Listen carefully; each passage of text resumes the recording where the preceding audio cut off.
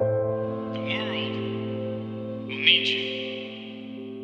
I once believed that my destiny was here on Earth, but now you need to accept that destiny.